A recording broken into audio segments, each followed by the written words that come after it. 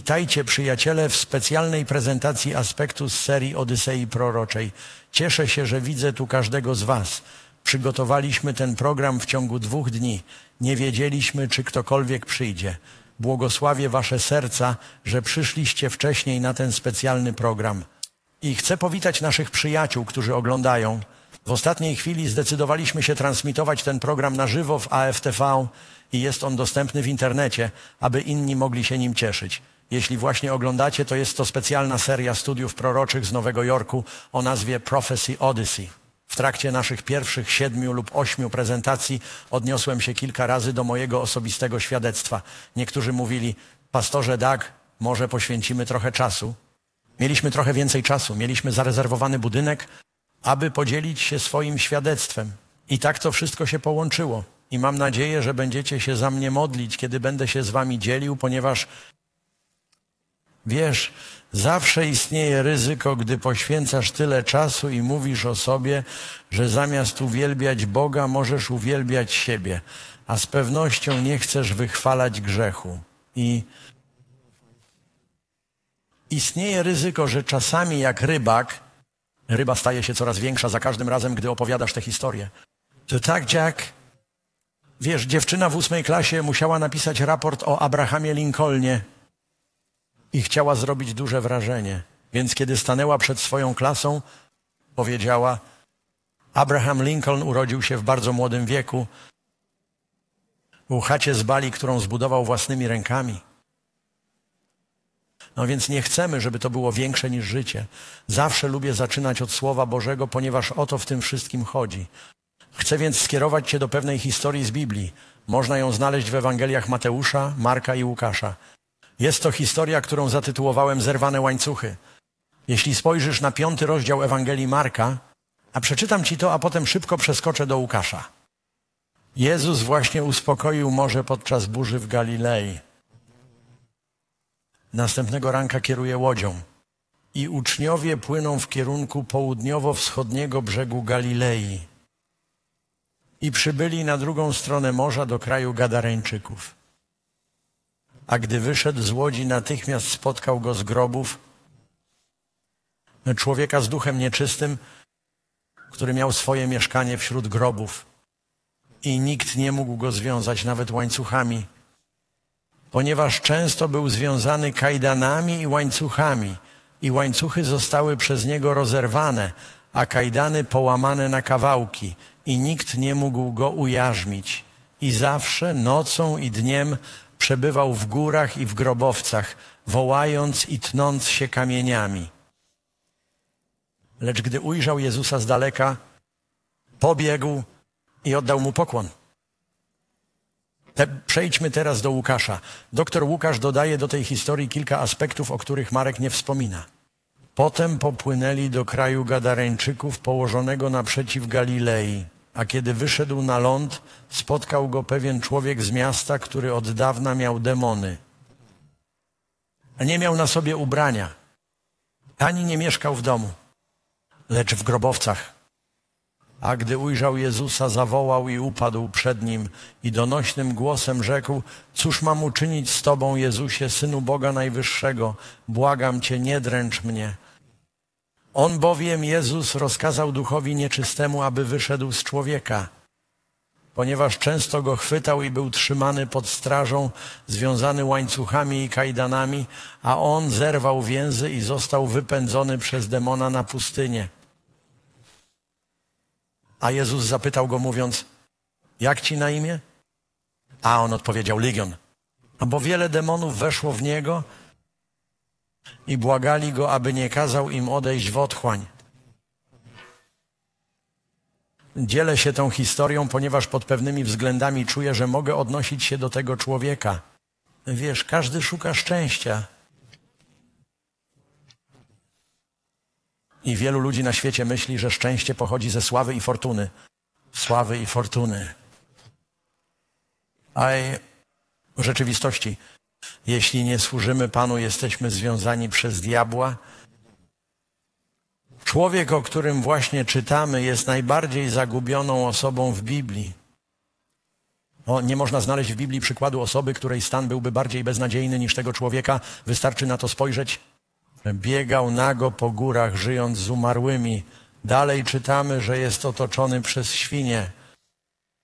A ma problem z cięciem. Słyszeliście o tym wcześniej? Tnie się kamieniami, ciągle płacze, ciągnąc za sobą połamane kajdany i kawałki łańcuchów wokół nadgarstków, kostek i szyi.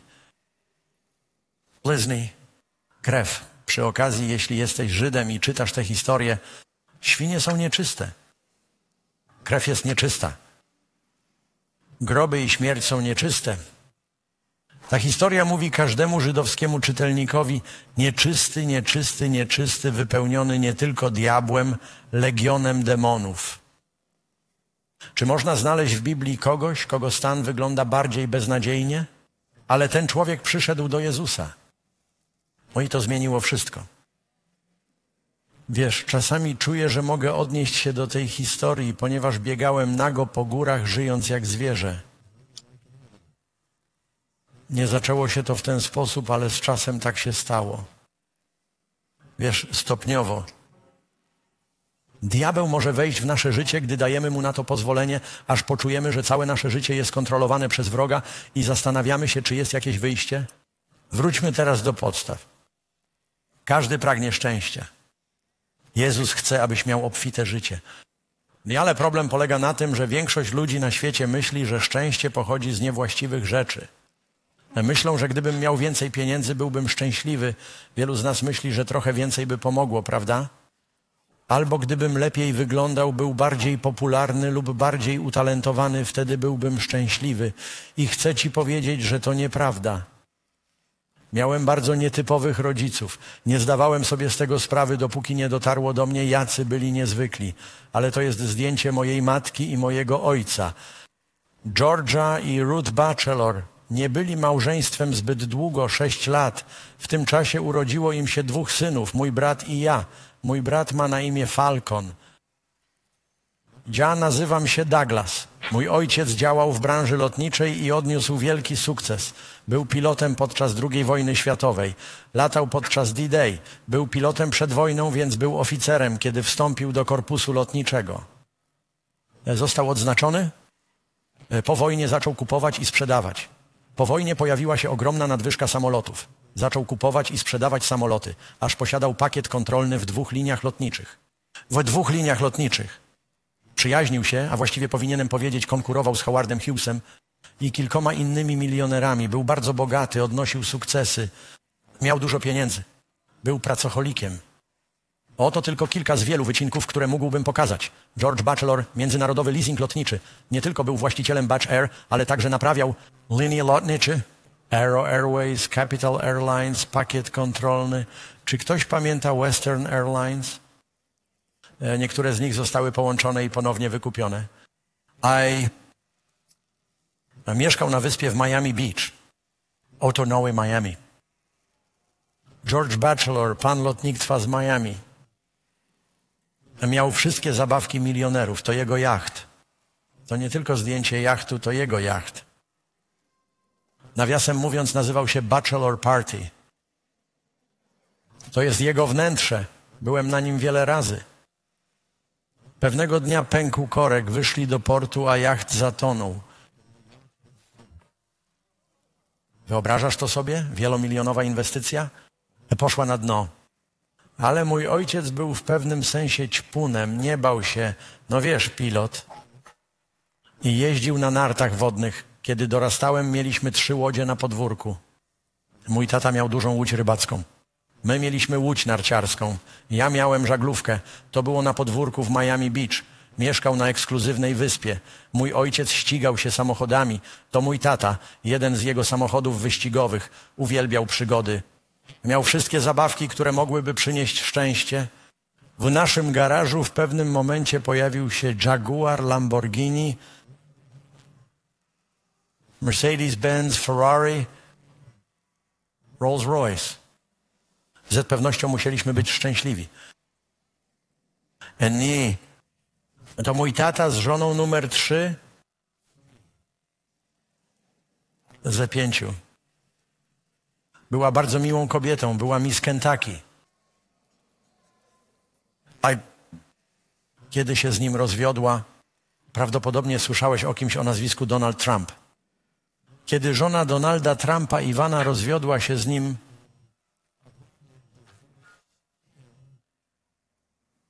dostała minimalną ugodę w wysokości 14 milionów dolarów, ponieważ podpisała intercyzę. Kiedy Betty rozwiodła się z ojcem, była to największa ugoda rozwodowa w historii Florydy. Mój ojciec miał dużo pieniędzy. Oto artykuł z Miami Herald, Business 2, 1992. A nie możesz go przeczytać, więc ja ci go przeczytam. Widzę to stąd.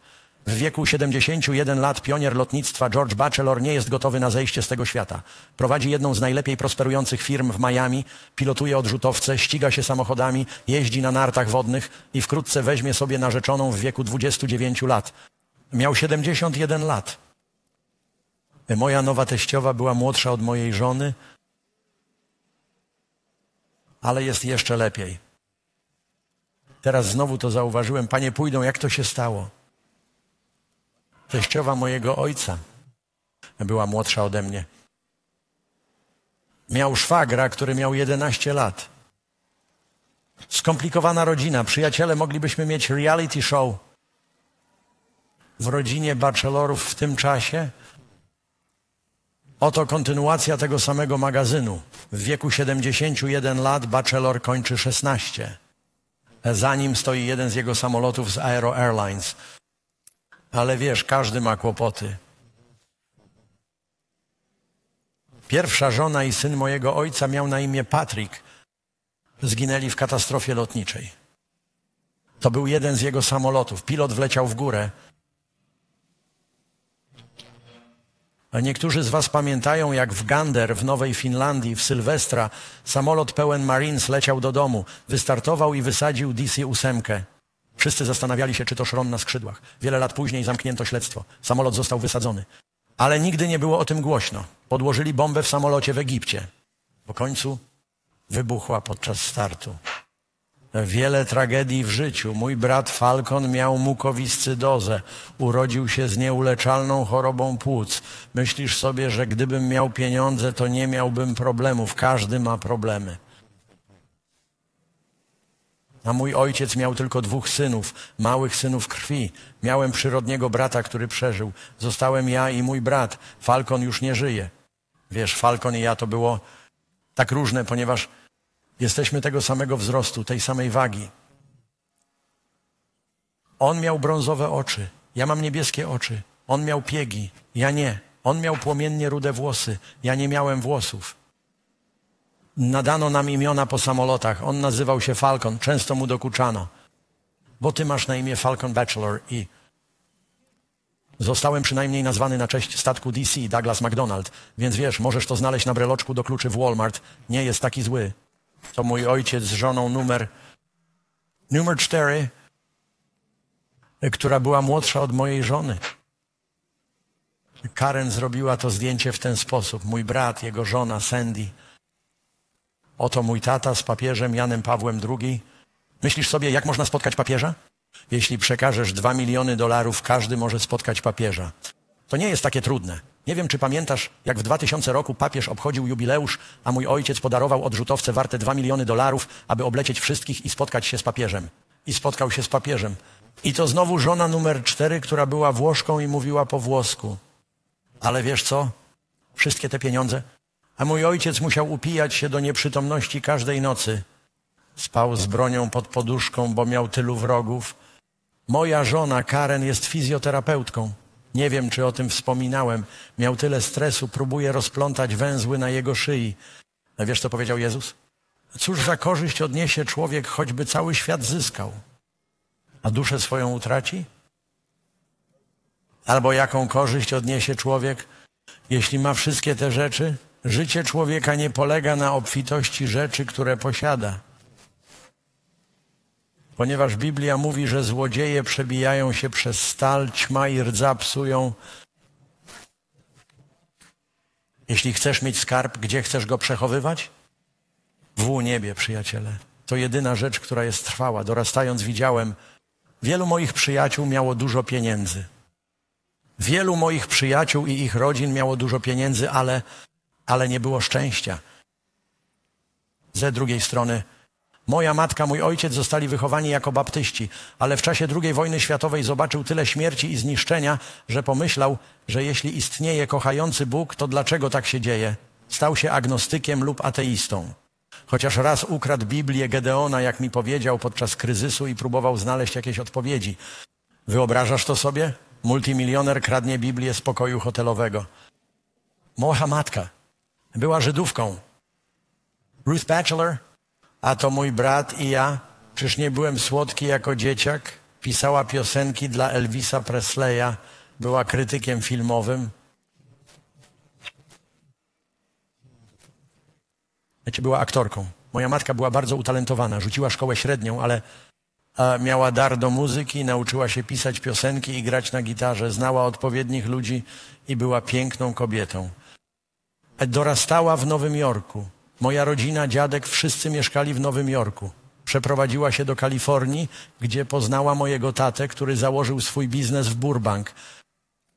O, a ona dorabiała w showbiznesie jako krytyk filmowy. Moja matka była liderką ruchu wolności kobiet w Nowym Jorku. To jej marsz, a tak naprawdę napisała serię piosenek na temat wolności kobiet. Napisała piosenki o astrologii. Wszyscy nasi przyjaciele w Hollywood zajmowali się okultyzmem i czarami, a czy ktoś pamięta program telewizyjny Dark Shadows? Wszyscy ci ludzie byli przyjaciółmi naszej rodziny, są w naszym domu, a mieszkaliśmy na 81 ulicy. Niektórzy z Was pamiętają Lloyda Bridgesa, który prowadził program o nurkowaniu. Mieszkał piętro wyżej od nas. Jego synowie Bo Bridges, Jeff Bridges. Widywaliśmy ich, gdy byliśmy dziećmi, a Red Buttons, zdobywca Oscara, dobry przyjaciel naszej rodziny, mieszkał na rogu, a jego żonę Alicie i córkę Amy znaliśmy. Dorastaliśmy znając wielu ludzi z show biznesu, ponieważ moja matka była nie tylko autorką tekstów, aktorką, krytykiem filmowym, ale także dramatopisarką. Miała kilka programów poza Broadwayem. Założyła LA Film Critics, bardzo potężną pozycję. Ponieważ kiedy krytyk filmowy, producenci wkładają miliony w film, te pierwsze recenzje mogą zrobić różnicę w milionach dolarów, a jeśli krytycy powiedzą, nie marnowałbym swoich pieniędzy, stracą miliony. Dlatego zawsze wysyłali jej prezenty i nagrody, darmowe rejsy i bilety do restauracji, a także bardzo potężne stanowisko prezesa LA Film Critics. Zastąpiła Ronę Barrett, jeśli kiedykolwiek pamiętasz to nazwisko, w Good Morning America. Robiła raporty z Hollywood. Nazywało się to Ruth Bachelor z Hollywood. I była aktorką, ale zazwyczaj były to małe role w dużych filmach. Zagrała w Dziesięciu Przykazaniach i w innym filmie, The Buccaneer, z Julem Brunerem i Charltonem Hestonem, ale prawdziwy sukces odniosła jako krytyk filmowy ale prawdziwy sukces odniosła jako krytyk filmowy. Niektórzy uważają, że opowiadając tę historię po prostu zmyślasz, więc pokażę Ci kilka zdjęć mojej mamy z niektórymi osobami, które znała. Czy ktoś zna Paula McCartneya? Sir Paula McCartneya, Sylvester Stallone. Mam wiele innych zdjęć, ale oni nie żyją, a ty możesz ich nie znać. Prowadzę więc programy dla młodzieży, a dzieciaki nie mają pojęcia, kim jest Frank Sinatra. Pokazuję więc tych, którzy wciąż żyją. To jest Natalie Wood. Od tamtej pory już nie żyje. Roger Moore był jednym z Jamesów Bondów. To mama każdej z tych osób. Sally Field, Clint Eastwood, Dustin Hoffman, Paul Newman, Muhammad Ali. Ludzie w Hollywood znali moją mamę, a my znaliśmy wielu z nich. Czasami Karen i ja oglądamy coś w telewizji, a ja mówię, że ich znam i zaczynam opowiadać, a ona na to psujesz mi zabawę. Nie mów o tym. O tym. Ale wiesz co? Mieliśmy przyjaciół, którzy byli bogaci, sławni, zdrowi i przystojni i zabili się. Miałem przyjaciela, który był znanym dziecięcym aktorem. Zamknął się w garażu w West Hampton, włączył samochód i zabił się. A miał pieniądze, talent, dobry wygląd. Postkę nie widział celu w życiu. I tak zobaczyłem, że pieniądze i szczęście nie pochodzą ze sławy. Wielu z tych ludzi po prostu nie było szczęśliwych. Dużo narkotyków. U Hollywood, gdybyś o tym nie wiedział, zastanawiasz się dlaczego. Tak wielu z nich żeni się i rozwodzi, są nieszczęśliwi. Kiedy mama zmarła, chociaż wszyscy ją znali, tylko ja i Karen, moi dziadkowie. Życie człowieka nie bierze się z obfitości rzeczy, które posiada. Jeśli chcesz być sławny, bądź sławny przed Bogiem. Nie chodzi o to, co myślą o tobie ludzie. Chodzi o to, co myśli o tobie Bóg. To robi różnicę. Jack już wspomniałem, dorastałem w Nowym Jorku. Oto stare zdjęcie, na którym widać jeszcze World Trade Center. Urodziłem się w Burbank w Kalifornii. Mam nadzieję, że mi wybaczysz, choć dorastałem w Nowym Jorku. Mama i tata rozwiedli się, gdy miałem trzy lata. I mama była czterokrotnie zamężna, tata był żonaty pięć razy. W rodzinie było wiele, wiele intryg w rodzinie. Mama przez dwadzieścia lat miała romans z żonatym mężczyzną, a ja musiałem udawać, że nie wiem, kim on jest, kiedy widziałem jego żonę. Mówię wam, przyjaciele, nie macie pojęcia. I ale mój brat i ja nauczyliśmy się o wiele za dużo, ponieważ kiedy byliśmy dziećmi w Nowym Jorku, mama mówiła, żebyśmy poszli pobawić się na ulicę.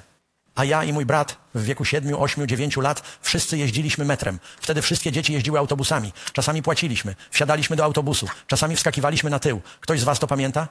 Wskakiwaliśmy na tył i łapaliśmy się krawędzi okna. Mam nadzieję, że nie spadłeś. Ilu z was wie, o czym mówię? Na ulicach grasowały gangi.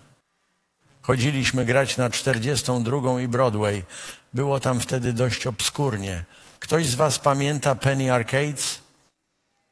Chodziło się tam i grało w skibol. Więc moja matka wysłała nas na ulicę i nauczyliśmy się o wiele za dużo. Zbyt młodo. A, ale ej, moi rodzice mieli pieniądze, nie tyle mama, co tata. I ale ponieważ przeprowadzili się i przez jakiś czas opiekę sprawował tata, potem mama, potem wysłali nas do dziadków, a potem do szkoły z internatem. Do dziewiątej klasy chodziłem do czternastu różnych szkół. Pierwsza szkoła wojskowa Black Fox Military Academy. Miałem pięć lat. A ponieważ moi rodzice byli bardzo zapracowani, wysyłali nas na letnie obozy, cokolwiek mogli zrobić, aby nas wyrwać. I tak zostaliśmy wysłani, a oto mój brat i ja na obozie letnim, a tam jestem w New York Military Academy.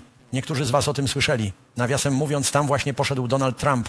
To nie było oświadczenie polityczne. Karen powiedziała, nie mów tak, po prostu fakt. A to mój przyjaciel Bobby Boyer. Spotkałem się z nim ponownie po 50 latach. Widział moje programy telewizyjne i e, wiesz, zadzwonił do naszego biura Amazing Facts i powiedział: Jest tam Doug? Powiedz mu, że dzwoni Bobby. Nie tylko poszedłem do szkoły wojskowej, ale też wpadłem w kłopoty w lecie.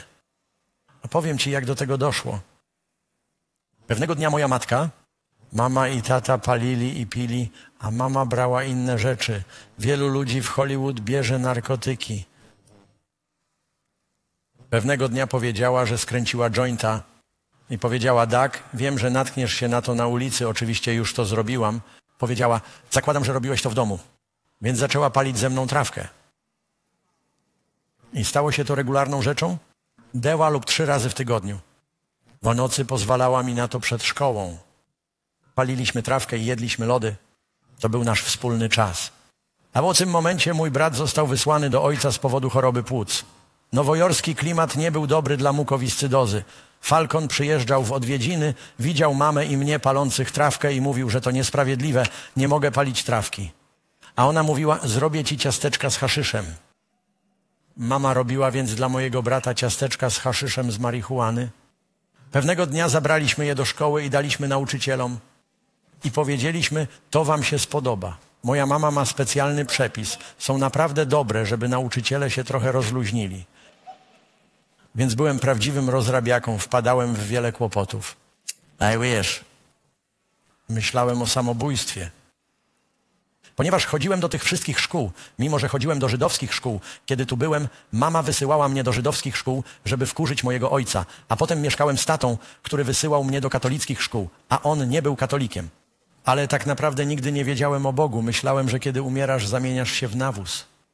Cały czas myślałem o samobójstwie. Myślałem, że pieniądze nie dają szczęścia, że większość ludzi jest nieszczęśliwa. Miałem przyjaciół, którzy popełnili samobójstwo. Dlaczego więc nie skończyć z tym wszystkim? Czułem, że moi rodzice tak naprawdę mnie nie kochają, bo ciągle mnie odsyłali. Dlatego zawsze fantazjowałem, jaki byłby najlepszy sposób na samobójstwo. Mieszkając w Nowym Jorku, wiesz, jest kilka wysokich budynków, wspinałem się na dach, zostawiali dach otwarty. Wspinałem się na dach i wystawiałem palce ponad krawędź i sprawdzałem, jak daleko mogę się wychylić, aż poczuję swój środek ciężkości. A powodem, dla którego nie skoczyłem, jest to, że pamiętam, jak kiedyś czytałem o człowieku, który skoczył z dziewięciu pięter, ale uderzył w drzewa i wylądował na samochodach, przeżył, ale był sparaliżowany. Pomyślałem, to jeszcze gorzej. E, pomyślałem, że mógłbym skoczyć, a co jeśli nie umrę? I bałem się, że, że to nie zadziała. Wiem, że innym razem moja matka wzięła tabletki na sen i pewnej nocy wyszła. Jestem sam, cały czas mam kłopoty, jestem nieszczęśliwy, zawsze mam złe stopnie. I poszedłem do łazienki mojej matki, do jej apteczki. Znalazłem buteleczkę z tabletkami, na której było napisane zażyj jedną przed snem Valium. Powiedziałem, że chcę zasnąć i nigdy się nie obudzić. Czułeś się tak kiedyś? Więc napełniłem ręce tabletkami i szykowałem się. Mam wodę. Przygotowywałem się do połknięcia tych wszystkich tabletek i po prostu pójścia spać i zakończenia tego wszystkiego. Ale wtedy przyszło mi do głowy, że na butelce nie było napisane, że to tabletki nasenne. Było napisane weź jedną przed snem. Valium. Miałem wtedy 13 lat. Nie byłem pewien, co to jest Valium. Pomyślałem, co jeśli Valium jest jak pigułka dla kobiet? I pomyślałem, co mogłoby się ze mną stać. Wziąłem tego dużo, więc pomyślałem, że lepiej tego nie robić i odłożyłem to. E, potem zobaczyłem reklamę piwa. Nie wiem, czy ktoś z Was pamięta starą reklamę piwa Schlitz. Mówiła ona, że życie kręci się tylko raz. Wykorzystaj cały swój zapał. I pomyślałem, okej, okay, to moje nowe moto. Jeśli mam umrzeć, to po co skakać z budynku lub brać tabletki? Zamierzam po prostu prowadzić tak ekscytujące życie, jak to tylko możliwe i odejść z hukiem. No i zacząłem wpadać w wiele kłopotów. Nie chodziło tylko o palenie trawki, haszyszu z mamą czy picie. Mogłem pić w domu. Kiedy mieszkałem z ojcem w jego rezydencji na wyspie przy okazji, to jest zdjęcie Sunset Island numer jeden. Sunset Island numer jeden. Właśnie ściągnąłem je z Google Earth. Dom taty znajdował się na wodzie, na szczycie. Miał trzy łodzie, ochronę, żeby dostać się na wyspę. A miał bar w domu, mogłem pić do woli. Wspomnę tylko, że ze wszystkich narkotyków, których używałem, a używałem prawie wszystkiego, więcej moich przyjaciół zmarło z powodu alkoholu niż czegokolwiek innego. Niż czegokolwiek innego. Mówię to, ponieważ spotykam chrześcijan, którzy uważają, że odrobina alkoholu jest w porządku. Jedna na siedem osób, które piją, staje się alkoholikiem. Czy trzymałbyś psa, który pogryzłby jedną na siedem osób przychodzących do Twojego domu? Chrześcijanie nie powinni pić. Jeśli już, to dlatego, że jest to złe świadectwo dla innych ludzi. Więc piłem. Rzecz w tym, że mieliśmy w domu lokaja i pokojówkę, więc piłem w ciągu dnia, gdy tata był w pracy z moimi przyjaciółmi. Lokaj pracował na podwórku, a lokaj przychodził i mówił: O, wygląda na to, że zapasy pana bachelora spadły. Uzupełniał zapasy. Mój ojciec nigdy nie wiedział, że czegoś brakuje. Więc dużo piliśmy. A kiedy byłem z mamą, wiedziałem, gdzie trzymała swój dzbanek. Trzymała ją w szafce na przyprawy więc nie tylko paliłem z nią, ale brałem trochę więcej. I tak zacząłem brać narkotyki, zacząłem włamywać się do domów i kraść. A kiedy mieszkałem z ojcem na Sunset Islands, moi przyjaciele, słyszałeś kiedyś o Firestone Tires? Spotykałem się z Amy Firestone. Słyszałeś kiedyś o odkurzaczach Hoover? Sandy Hoover, bawiliśmy się z nim, mieszkał na wyspie. Mógłbym wymieniać różnych ludzi, multimilionerów, którzy byli naszymi przyjaciółmi, Wszyscy razem wpadaliśmy w kłopoty. Nudziliśmy się, wszystkie te bogate, rozpieszczone dzieciaki. A co ty chcesz robić? I jeśli nie były to narkotyki, LSD, picie czy coś w tym stylu, mówiliśmy włammy się do domu dla samej ekscytacji. Zaczęliśmy włamywać się do domów innych milionerów. Wyzywali mnie, żebym coś zrobił. Zrobiłbym wszystko, by zwrócić na siebie uwagę. Smutne było to, że na wyspie było mnóstwo włamań. Milionerzy wzywali więc policję. Domyślali się, że złodzieje przypływają łodziami. Zwykle widzieliśmy łodzie policyjne krążące po wyspie w poszukiwaniu złodziei. To dzieci milionerów na wyspie okradały się nawzajem. A i w tym czasie żadnej satysfakcji, żadnego szczęścia. Zacząłem wpadać w coraz większe kłopoty. Moja matka powiedziała, George Duck potrzebuje więcej wolności. Szkoła wojskowa była zbyt restrykcyjna musi wyrazić siebie. Moja matka była artystką. Znalazła szkołę w stanie Nowy Jork, w Maine, gdzie nie było żadnych zasad. Nazywała się Wolną Szkołą. To jedno z jedynych zdjęć, jakie mam. To ja jestem na dole ze skrzyżowanymi nogami i długimi włosami. Wiem, że to błotniste zdjęcie, ale to wszystko, co mogę uzyskać w trybie offline. Nazywało się Pinehenge. To była eksperymentalna szkoła. trwała pięć lat. Eksperyment się nie powiódł. Pomysł był taki, żeby nie zmuszać dzieci do niczego. Niech będą wolne. Nie musisz chodzić na zajęcia, jeśli nie chcesz. Nie musisz chodzić na posiłki, jeśli nie chcesz. W szkole obowiązywały tylko trzy zasady. Nie było bujek, narkotyków, seksu. Myślisz, że dzieciaki słuchały tych trzech zasad? Były koedukacyjne akademiki dla wszystkich grup wiekowych. Mieliśmy dzieciaki w wieku od 8 do 18 lat. To było szalone. Dziwię się, że to było legalne. Ale chodziłem do tej darmowej szkoły. Możecie to sprawdzić w internecie, jeśli myślicie, że żartuję, przyjaciele. A mówimy więc o pomieszaniu z poplątaniem. Przeszedłem z najsurowszej szkoły w Ameryce Północnej, Nowojorskiej Akademii Wojskowej. I chwalę Boga, że chodziłem do tej szkoły, ponieważ możesz zapytać Karen, nadal składam bieliznę. Ona też ją składa, ale ściele łóżko w pokoju hotelowym. Kiedy wymeldowujemy się z pokoju hotelowego, ściele łóżko. Potem poszedłem do szkoły bez zasad. Wiele dzieciaków próbowało popełnić samobójstwo. Nauczyłem się, że w życiu trzeba mieć dyscyplinę, bo inaczej nie można zaznać szczęścia. Jeśli nie masz samokontroli, nie odniesiesz sukcesu. A wpadłem więc w wiele kłopotów. Kiedy po raz pierwszy uciekłem z domu, miałem 16 lat. Nie, 13 lat. Okradłem matkę. Pojechałem autobusem do Nowego Jorku, wsiadłem do namiotu. I zostałem sam, idę. Dobra, co ja teraz zrobię? Stałem się samotny, w końcu wróciłem do domu. Uciekłem ponownie. No, kiedy miałem 14 lat z przyjacielem, nawiasem mówiąc, spotkałem tego przyjaciela wiele lat później. Został pułkownikiem w armii. To było naprawdę interesujące. I on i ja uciekliśmy, zostaliśmy aresztowani i w Pensylwanii w pociągu. Zawieźli nas z powrotem do Nowego Jorku. Znowu uciekliśmy, przenieśliśmy się w góry. Znów zostaliśmy aresztowani. Moja mama powiedziała tacie, że już dłużej z nim nie wytrzymam. Wysłała mnie do ojca. Miałem kłopoty z macochą, która powiedziała, że on jest niemożliwy, nie może zostać w domu. Mój tata był również właścicielem hotelu, przeniósł mnie do swojego hotelu. A byłem taki zmieszany. Zostałem aresztowany. Byłem aresztowany siedem razy. W pewnym momencie byłem w więzieniu przez tydzień, zanim powiedziałem im swoje prawdziwe imię. Pomyślałem, że wolę być w poprawczaku niż w domu, w rezydencji. Czy to nie szalone? Taki byłem nieszczęśliwy. Całkowicie poza kontrolą. I w końcu mój tata powiedział, nie wiem, co z tobą zrobić. Wszyscy pomyśleli, tak, nie chcesz pracować dla ojca?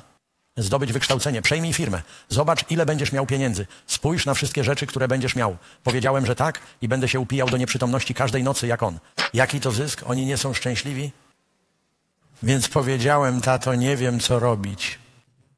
Po prostu wyszedłem z biura taty. Wjechałem na autostradę międzystanową 95. Zacząłem podróżować autostopem.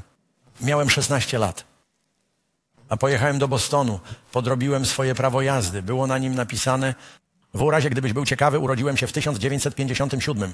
Moja matka jest artystką. Wziąłem siódemkę, zrobiłem z niej dwójkę i użyłem tego, aby zdobyć fałszywy dowód osobisty, prawdziwy, który mówił, że jestem znacznie starszy niż byłem. Udało mi się zdobyć prawo jazdy i pracę jako ochroniarz. Byłem w Bostonie. Włamywałem się do domów i kradłem. Kradłem telewizory, samochody i pracowałem jako ochroniarz w nocy. Pracowałem dla firmy o nazwie Business Intelligence. Nigdy nie kradłem z miejsca, którego pilnowałem, bo mi za to płacili.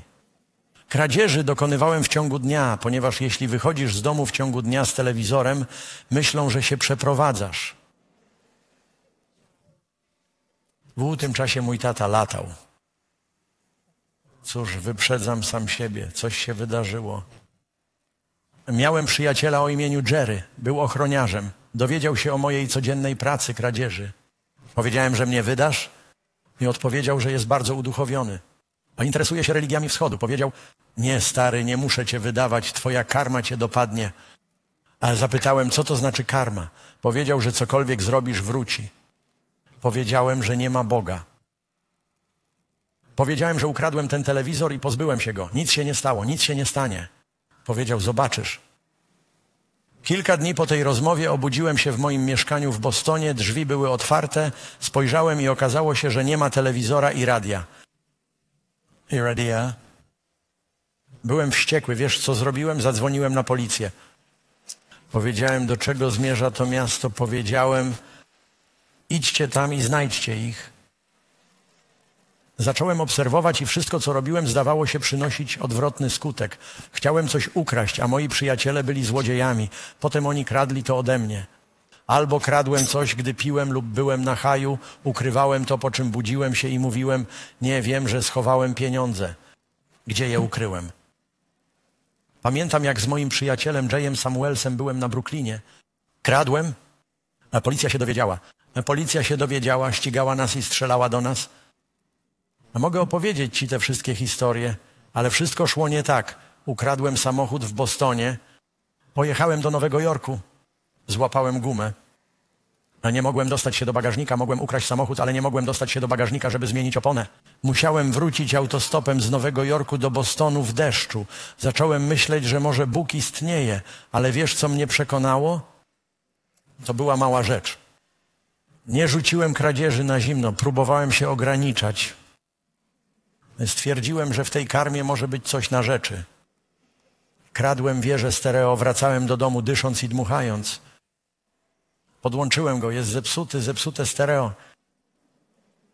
Poszedłem więc do czyjegoś domu i ukradłem pudełko Krusty's Instant Pancake Mix. Zupełnie nowe pudełko. Zrobiłem to, ponieważ byłem wtedy bardzo świadomy zdrowia. Byłem hipisem, chciałem tylko pełnoziarnistą mieszankę do naleśników. Piję, palę, biorę narkotyki, ale tylko pełnoziarniste naleśniki, bo zamierzam o siebie dbać. Więc ukradłem to pudełko mieszanki do naleśników. Na wierzchu pudełka, zanim wprowadzono kody kreskowe, było napisane dollar dollars i Wróciłem do domu tego samego dnia. Jacyś ludzie przyszli do mnie nieproszeni. Miałem nowiutki słoik napoju śniadaniowego Tank Instant. Wzięli słoik, otworzyli go, wypili wszystko. Przy pustym słoiku leżała pokrywka z napisem Dolos i spojrzałem na mieszankę do naleśników i powiedziałem, przestępstwo nie popłaca. Musi istnieć Bóg. Ale nie interesowało mnie chrześcijaństwo. Spędzałem zbyt wiele czasu patrząc na chrześcijan powiedziałem, że wszyscy są hipokrytami. A byłem na wystarczającej liczbie nabożeństw i chodziłem do katolickiej szkoły. Pamiętam księdza, który stał i udzielał komunii paląc i pijąc. Myślę sobie, kogo ma być? Włączyłem wiadomości i powiedziałem, że katolicy i protestanci zabijają się nawzajem w Irlandii. Powiedziałem, że obaj twierdzą, że są chrześcijanami. Myślałem, że Jezus powiedział, kochaj swoich wrogów. Wysadzają się nawzajem w powietrze. Wszyscy są hipokrytami. Popełniłem błąd, który popełnia wielu ludzi. Kiedy chciałem wiedzieć, kim jest chrześcijanin, patrzyłem na chrześcijan. Jeśli chcesz być chrześcijaninem, nie patrz na chrześcijan. Chrześcijanin nie jest naśladowcą chrześcijan. Chrześcijanin jest naśladowcą Chrystusa. Ludzie cię zawiodą, Jezus cię nie zawiedzie. Skieruj swój wzrok na Chrystusa. Jeśli zamierzasz patrzeć na ludzi, diabeł znajdzie dla ciebie kogoś, kto cię rozczaruje. Jezus cię nie zawiedzie. Opowiedziałem więc, że oni wszyscy są hipokrytami. Więc byłem, wiesz, to było w erze Beatlesów.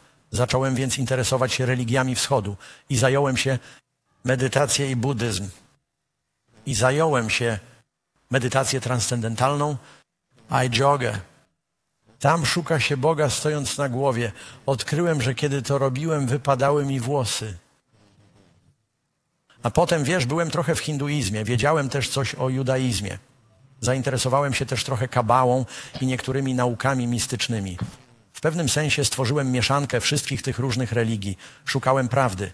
Udałem się nawet do południowej Kalifornii. Podróżowałem autostopem po całym kraju. Podróżowałem autostopem z Florydy do Kalifornii i z powrotem. Zjeździłem cały kraj. E, poszedłem do świątyni Hare Krishna w Santa Monica w Kalifornii, ponieważ obiecali darmowy posiłek, jeśli pójdziesz na ich nabożeństwo. Poszedłem do misji chrześcijańskiej, a mieszkaliśmy wtedy na ulicy. Byłem zbyt dumny, by poprosić tatę o pomoc. Chrześcijańska misja powiedziała, że jeśli wejdziesz, zamkną drzwi i wejdą ci wszyscy pijacy i opuszczeni. Pijacy i opuszczeni i uzależnieni. Uzależnieni i powiedzieli, damy ci darmowy posiłek, ale musisz wysłuchać kazania, a potem cię nakarmimy. Dali porządku. Siedzieliśmy tam i czułem się źle, ponieważ wszyscy moi przyjaciele byli tacy obleśni, a ci chrześcijanie byli tacy mili. Dzielili się świadectwami, głosili krótkie kazania i przynosili naprawdę dobre jedzenie z szarlotką. To było wspaniałe. Mówiliśmy do zobaczenia za tydzień. Herr Krishna powiedział, zaoferujemy ci darmowe jedzenie, jeśli przyjdziesz na nasze nabożeństwo. Powiedziałem, ok, poszedłem więc z moim przyjacielem Jayem. Nabożeństwo polegało na skakanie w górę i w dół, nie próbując okazać braku szacunku. Po prostu mówię, co się stało skakanie w górę i w dół. i powtarzanie Hare Krishna, Hare Krishna, Krishna Krishna, Hare Hare, Hare Rama, Hare Rama, Rama Rama, Hare Hare. Nigdy tego nie zapomniałem. Ponieważ robili to przez dwie godziny, był kółko. Spędziłem wystarczająco dużo czasu w Hollywood z przyjaciółmi, którzy zajmowali się hipnozą i innymi rzeczami. Pomyślałem, że to jest hipnoza. To powtarzanie wprowadza w stan hipnozy. Powiedziałem mojemu przyjacielowi Jayowi, że idę do łazienki. Powiedziałem, powiedz mi, kiedy wyjdzie jedzenie. Powiedziałem, wyszedłem i jestem w łazience, a oni grają na bębnach i basie, a oni wszyscy Hare Krishna, Hare Rama. Wszedłem tam i sprawdziłem, co z moim przyjacielem Jayem. Się w to wkręcił. Za to wszystko dali nam jogurt i rodzynki. Ale ja szukałem Boga. Próbowałem wszystkiego. Myślałem, że Bóg musi istnieć. Cóż, i wróciłem do Bostonu. Ja, mój ojciec przyleciał z Florydy, żeby mnie zobaczyć. Błagał mnie, powiedział, Dak, musisz wrócić do szkoły. Powiedział, że Falcon jest chory.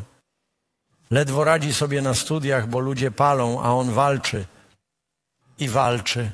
Musiał ciągle chodzić do szpitala i na terapię. A on powiedział: Jesteś zdrowy? Powiedział, że musisz zdobyć wykształcenie. Nie marnuj swojego życia. Powiedział, że znalazłem szkołę. Powiedziałem, że nie wrócę do szkoły wojskowej, tam nie ma dziewczyn. A on na to: Nie, nie, tam są dziewczyny. Powiedział, że znalazłem szkołę, jest na łodzi. Właściwie to na dwóch łodziach pływają dookoła świata i mają dziewczyny. Można nurkować, można jeździć na nartach wodnych, można łowić ryby z kuszą, możesz przeżyć przygodę, zobaczyć świat. A on mnie błagał. Powiedział, wiesz, mam tu walizkę, jest w niej milion dolarów, przygotowuję się do zawarcia transakcji wartej milion dolarów. I powiedział, możesz mieć ten biznes, możesz pracować ze mną, zdobądź wykształcenie. Ja odpowiedziałem, że w porządku. Ojciec mnie załatwił. Poszedłem, nie wiem jak dostał paszport. Wiesz, jeśli masz wystarczająco dużo pieniędzy, możesz dostać paszport w jeden dzień. E, właściwie to chyba pokazywałem ci zdjęcie minutę temu. To było moje zdjęcie paszportowe, gdy miałem 16 lat. Dostał je mój tata. On poleciał ze mną do Mediolanu we Włoszech, żebym dołączył do statku. Szkoła już wtedy trwała, dołączyłem późno. Nazywała się Flint School Abroad. Jeśli chcecie to sprawdzić, przyjaciele, niektórzy wątpią w tę historię. To jest zdjęcie szkoły. Dwie łodzie, żaglówki, żeglowali razem, opłynęli świat dookoła. Szkoła była na łodzi.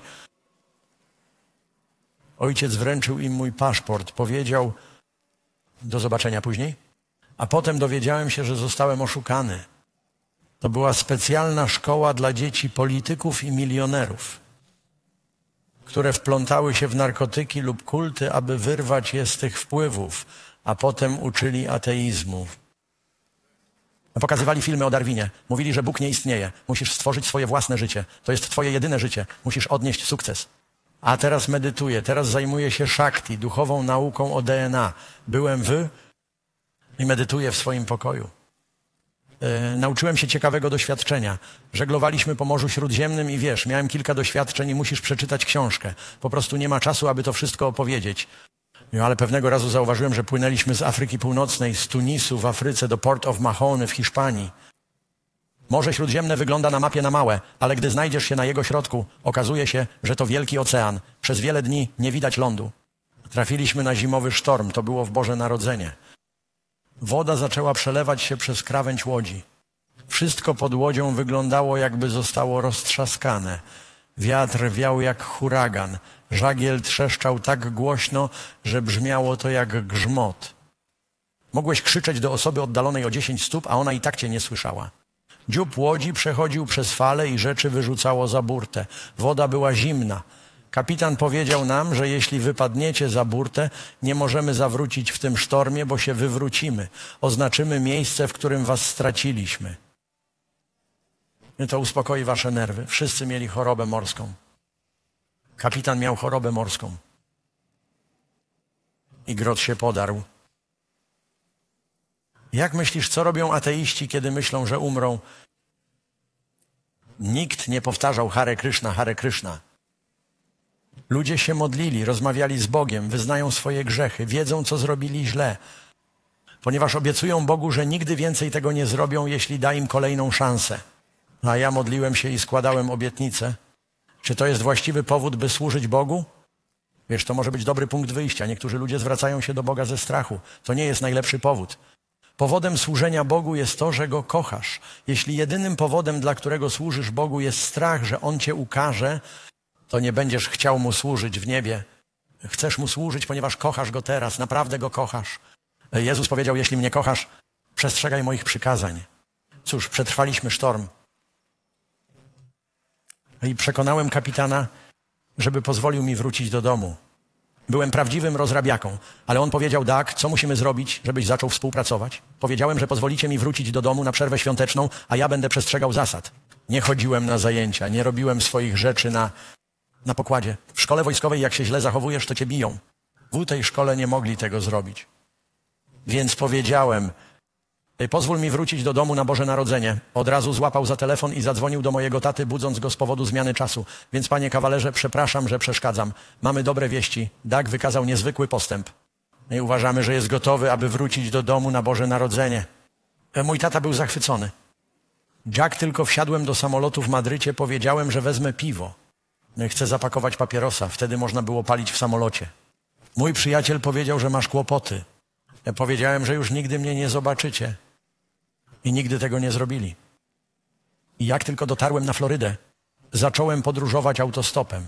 Najpierw pojechałem na wakacje do rodziny, na narty do Kanady. Potem wróciłem i kiedy nadszedł czas powrotu do szkoły, wjechałem na autostradę. Sprzedałem wszystkie swoje rzeczy bratu. On nie wiedział, że zamierzam uciec. Powiedziałem tylko, że potrzebuję trochę drobnych. Ruszyłem w drogę. Zacząłem podróżować autostopem z Florydy do Kalifornii. Chciałem zamieszkać w górach i znaleźć Boga poprzez religię Indian amerykańskich. W połowie drogi utknąłem. W Oklahomie była zima. I zamarzłem. Byłem sam. Dzień wcześniej piłem w barze. Przegrałem wszystkie pieniądze w hali bilardowej, grając w bilard, robiąc głupie zakłady, pijany. Jestem spłukany. Jestem chory. Jestem głodny. A potem stoję na drodze i mam na sobie ubranie z Florydy. Jest poniżej zera i zamarzam na śmierć. Zbyt uparty i dumny, by poprosić o pomoc. Za każdym razem, gdy przejeżdżała ciężarówka, trzy sekundy później odwracałem się, ponieważ wiatr z ciężarówki uderzał w ciebie. Po wielu godzinach zdesperowany zacząłem się modlić. A powiedziałem, Boże, wiem, że Bóg istnieje. Byłem przekonany, że Bóg istnieje z powodu karmy. Wiesz, Jezus naucza o karmie. Mówi, czyń innym tak, jak chciałbyś, aby oni czynili tobie. Co się kręci, to się kręci, przyjacielu, mogę ci powiedzieć. Błogosławieństwo jest większe niż miłosierdzie. Otrzymają miłosierdzie. Powiedziałem, że wierzę w istnienie Boga. Powiedziałem, Panie, poprosiłem Go o cztery rzeczy. Powiedziałem, czy pomożesz mi dojechać tam, dokąd zmierzam? E, powiedziałem, że marznę. Powiedziałem, Panie, wybaczysz mi? Wiem, że byłem zepsutą osobą. To znaczy, naprawdę byłem bardzo złym człowiekiem. I powiedziałem, Panie, pomóż mi zdobyć trochę pieniędzy. Byłem spłukany, pomóż mi zdobyć jedzenie. I chyba piątą rzeczą, o którą się modliłem, była przejażdżka z kimś normalnym, bo ciągle podwozili mnie wariaci. Podwozili mnie ludzie, którzy pili i jechali wieczną drogą. Mówili, uważaj, mogę jechać z wyłączonymi światłami, wyłączają światła. Odebrało mnie dwóch studentów, którzy palili tak dużo trawki, że samochód był wypełniony dymem, a oni przejechali przez środek drogi i wjechali pod nadjeżdżający pojazd. No, powiedziałem, że to mój przystanek, wypuść mnie. Powiedziałem więc, panie, daj mi podwieźć kogoś normalnego. Byłem tam godzinami, jak tylko skończyłem się modlić, nie wiedziałem, jak się modlić, nie powiedziałem w imieniu Jezusa. Powiedziałem, panie, proszę, pomóż mi. Zatrzymał się pojazd, biała furgonetka. Zabrał mnie. Ten człowiek zabrał mnie z Oklahomy do miejsca docelowego w Palm Springs w Kalifornii. Dał mi 40 dolarów, kiedy mnie wysadzał. Karmił mnie przez całą drogę, byłem głodny. Za każdym razem, gdy mnie karmił, mówiłem, że nie ma problemu, zapłacę za to. Nie modliłem się o to. Głosił mi kazania przez całą drogę z Oklahomy do Kalifornii. Był narodzonym na nowo chrześcijaninem i głosił wszystkim po drodze, a ja musiałem go słuchać albo wyskoczyć z samochodu. Pomyślałem, Biblia to bajka, chrześcijanie to hipokryci. Wypuścił mnie więc i poszedłem w góry. To jest właściwie zdjęcie mojego brata, zrobione wiele lat później. Chciałem znaleźć Boga poprzez naturę. Przeprowadziłem się w góry i zamieszkałem w jaskini. Zamieszkałem w tych opuszczonych górach, daleko w górach pustynnych. Karen była tam ze mną kilka razy nad Palm Springs. Po drugiej stronie jest oaza. Prawie nikt o niej nie wie. Podczas COVID wróciłem tam z moim 25-letnim wówczas synem i ledwo daliśmy radę, trudno się tam dostać. Góra o wysokości 11 tysięcy stóp nazywa się Mount San Jacinto. Przez półtora roku mieszkałem w jaskini. Zdjąłem wszystkie ubrania, ponieważ teraz zamierzam znaleźć Boga poprzez naturę. Przyjaciele, to były lata 70., dzieci kwiaty to było szalone. Wiem, że to nie ma sensu. Raz w tygodniu jeździłem do miasta, do Palm Springs. Grałem na flecie i tańczyłem panhandle. I wyciągałem jedzenie z kosza na śmieci za marketem. A mój ojciec dowiedział się od dziadka, że nurkowałem w śmietniku. I to złamało mu serce. Pracował przez całą depresję, żeby jego dzieci nigdy nie były biedne, a teraz dowiaduje się, że jego syn kopie w śmieciach w poszukiwaniu jedzenia. Wiesz, masz niebiańskiego ojca. Niektóry dał swojego syna Jezusa, abyś mógł być bogaty. A my idziemy do diabelskiego śmietnika i to łamie mu serce.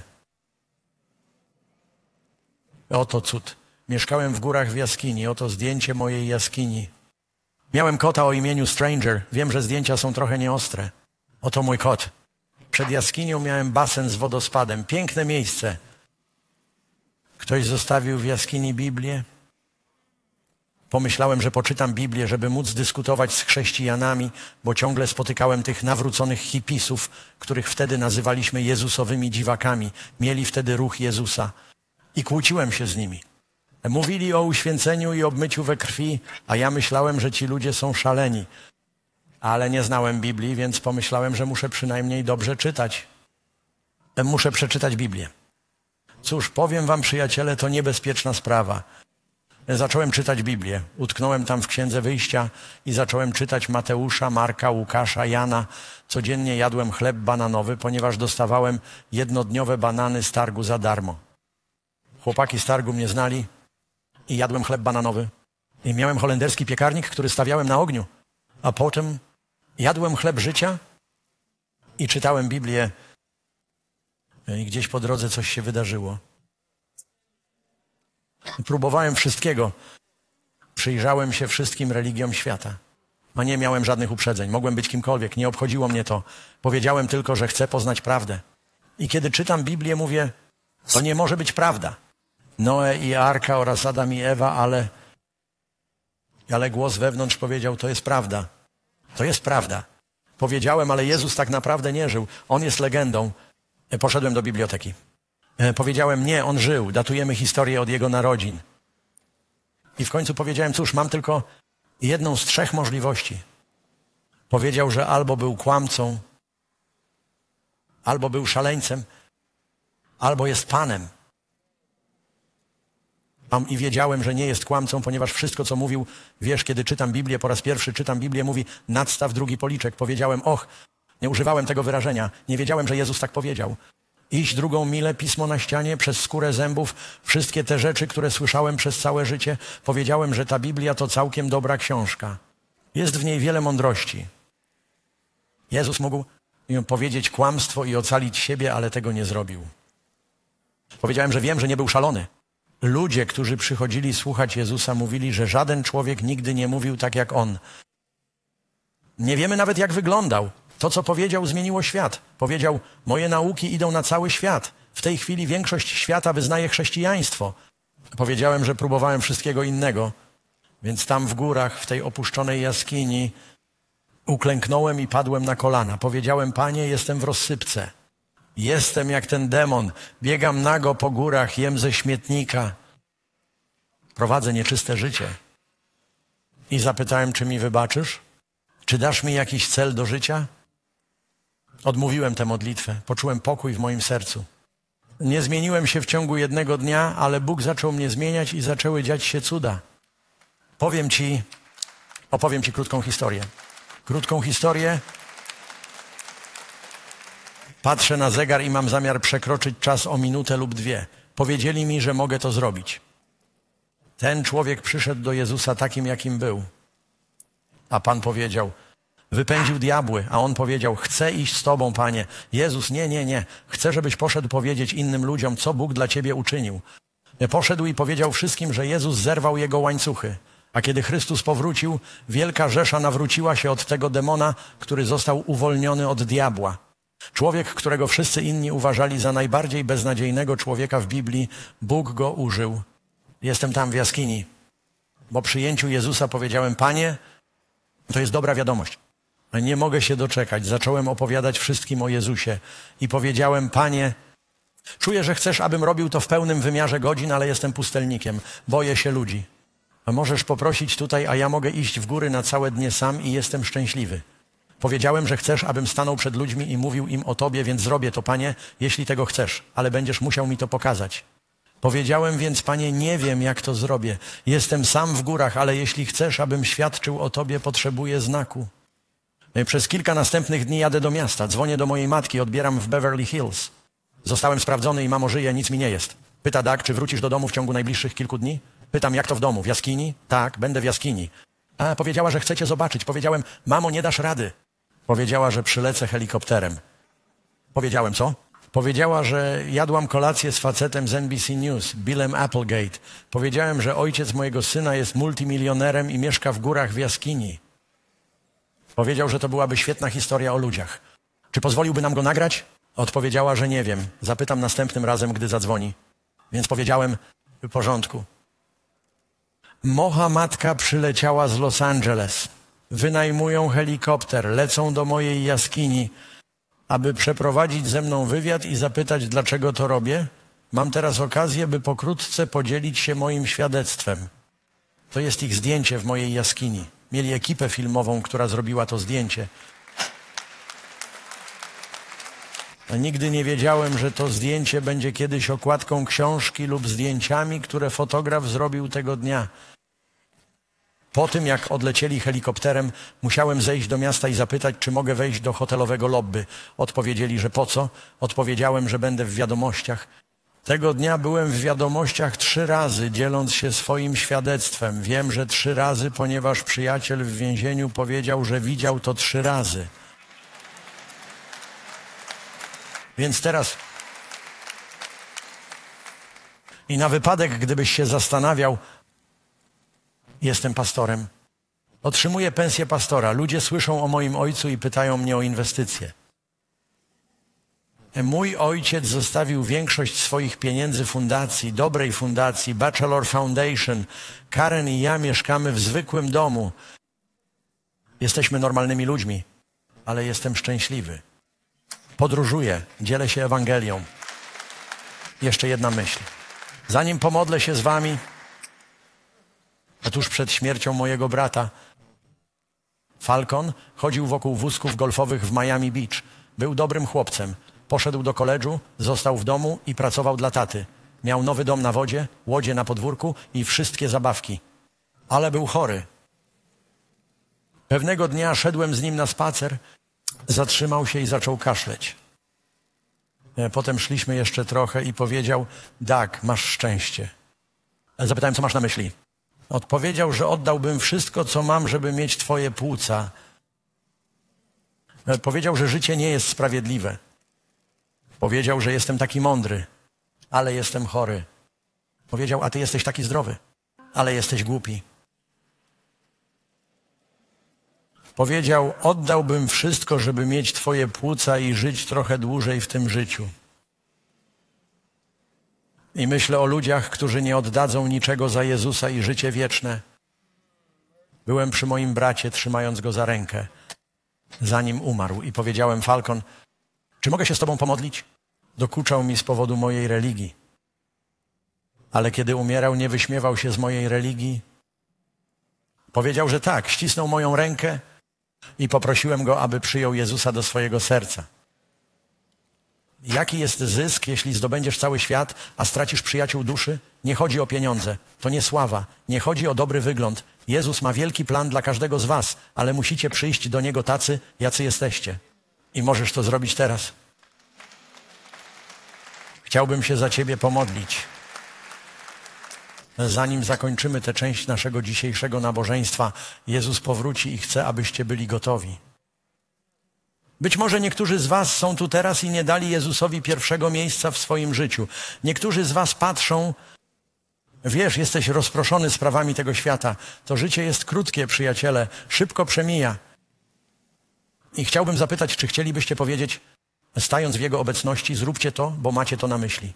Jeśli wcześniej nie przyjąłeś Jezusa lub jeśli nie oddałeś Mu w pełni swojego życia, a chciałbyś to zrobić teraz, czy jesteś gotów stanąć w Bożej obecności i powiedzieć, słyszę Jego głos, chcę to zrobić teraz, widzę Cię stojącego, tak stań.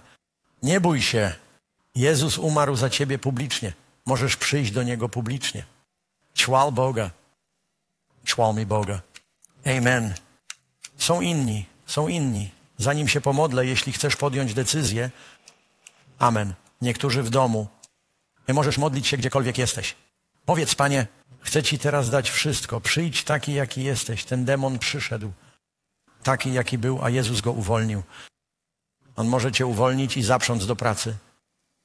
Ojcze w niebie, chcemy Ci podziękować za Twoją cudowną moc zbawienia. Pomóż nam mieć priorytety szukania najpierw Twojego królestwa. Modlę się, aby nie rozpraszały nas oszustwa wroga. Bez względu na to, jakie łańcuchy są w życiu tych ludzi, tak jak to zrobiłeś dla tego człowieka, zerwij łańcuch, uwolnij nas, przykryj naszą nagość swoją szatą i daj nam pracę do wykonania.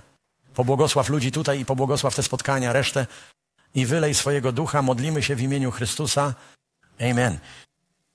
O, przy okazji dla tych, którzy stali, mamy nadzieję, że odwiedzicie gdzieś tutaj pastorów i pomodlicie się z nimi, zapytacie ich, jakie będą następne kroki, ale myślę, że mamy koncert, który odbędzie się teraz. Powiesz amen? Niektórzy piosenkarze to wyjdzie.